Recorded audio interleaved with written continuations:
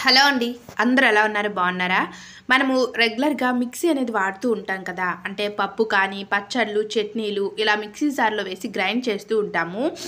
Mixie జార్స్ని clean చేస్తాం కానీ mixie jar అడుగును చూసారు కదండి ఎలా ఉందో? వీటిని అయితే మనం అస్సలు క్లీన్ చేయం కదా? మురికి బ్యాక్టీరియా ఫంగస్ అంతా కూడా పెరిగిపోయి ఉంటుంది. సో దీన్ని మనం చాలా సింపుల్గా రిమూవ్ చేసుకోవచ్చు. అది ఎలా అనేది ఈ వీడియోలో చూద్దాము. వీడియోలోకి వెళ్ళే ముందు ఈ వీడియో మీకు నచ్చినట్లయితే లైక్ చేయండి. అంతకంటే ముందుగా ఒకసారి మన ప్రీవియస్ వీడియోస్ ఒక్కసారి చెక్ చేయండి. అందులో కంటెంట్ ఉంది. మీకు ఆ వీడియోస్ అన్ని యూస్ఫుల్గా ఉన్నాయి అంటే ఛానల్ని సబ్స్క్రైబ్ చేసుకోండి. మనకి మిక్సీ జార్ వెనకాల చూసారు కదండి చాలా మురికి అయితే పెరిగిపోయి ఉంటుంది. ఫస్ట్ దీన్ని ఏంటి అంటే ఒక పిన్నేసి ఉంటే పిన్నేస్తో కానీ మేకు ఉంటే మేకుతో కానీ ఆ వెనకాల ఉన్న ఆ మురికి మొత్తాన్ని కూడా రిమూవ్ చేసేయండి బాగా జిడ్డు పట్టేసి ఉంటుంది. మనకి సూదిగా ఉన్న మేకునైనా సరే మీరు యూజ్ చేయొచ్చు.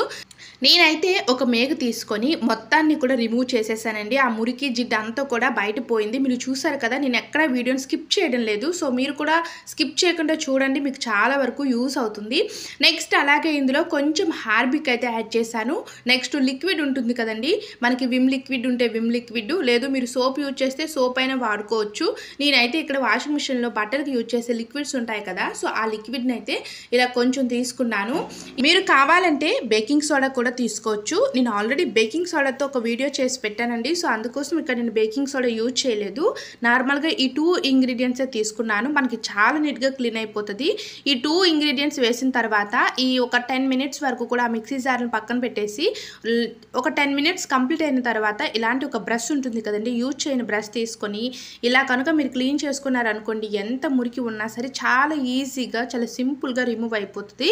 చూసారు కదా ఎంత నీట్గా క్లీన్ అయిపోతుందో ఈ మిక్సీ జార్ వెనకాల ఏంటి అంటే మనకి ఎక్కువగా మనం యూజ్ చేస్తూ ఉంటాం కదండి. మనం లోపల క్లీన్ చేస్తాం కానీ బయట క్లీన్ చేయకపోవడం వల్ల ఏంటి అంటే మురికంతా పెరిగిపోయి ఉంటుంది. అలాగే డస్ట్ ఏదైనా ఉన్నా సరే ఇక్కడ పెద్ద మిక్సీ జార్ చూస్తున్నారు కదా ఇప్పుడు నేను క్లీన్ చేస్తున్నాను.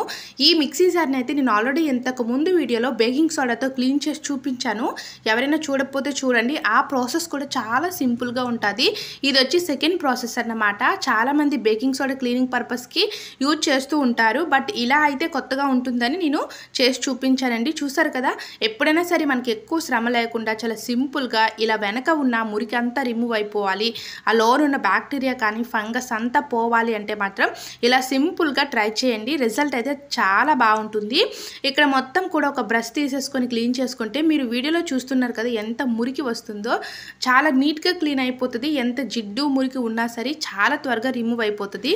చూసారు కదండి ఇంట్లో ఉన్న ఇంగ్రీడియంట్స్ తోటే మనము ఇంట్లో ఏ వస్తువైనా సరే మనకు బయట పడేద్దాము. అంటే ఇది పనికి రాదు బయట పడేద్దాం అనుకునే వస్తువును కూడా మళ్ళీ మనం దీన్ని రీయూజ్ చేసుకోవచ్చు. అలాంటి వీడియోస్ అయితే మన ఛానల్లో చాలా ఉన్నాయి. చూడండి. ఇలాంటి టిప్స్ అండ్ ట్రిక్స్ అయితే మన ఛానల్లో ఎయిట్ హండ్రెడ్ ప్లస్ వీడియోస్ ఉన్నాయి. చూడండి. మీకు చాలా వరకు యూస్ఫుల్గా ఉంటాయి. వీడియోస్ అన్నీ మీకు నచ్చితేనే ఛానల్ని సబ్స్క్రైబ్ చేసుకొని అలాగే పక్కనే ఉన్న బెల్ ఐకాన్ కూడా ఒక్కసారి క్లిక్ చేయండి. నేను చేసే ప్రతి ఒక్క వీడియో కూడా మీకు నోటిఫికేషన్లో వస్తుంది. సో అందరికంటే ఫస్ట్గా మీరే చూస్తారండి. చూడండి. ఈ వీడియో మీకు నచ్చినట్లయితే ప్లీజ్ లైక్ చేయండి. నెక్స్ట్ వీడియోలో కలుద్దాము. Thanks for watching please subscribe my channel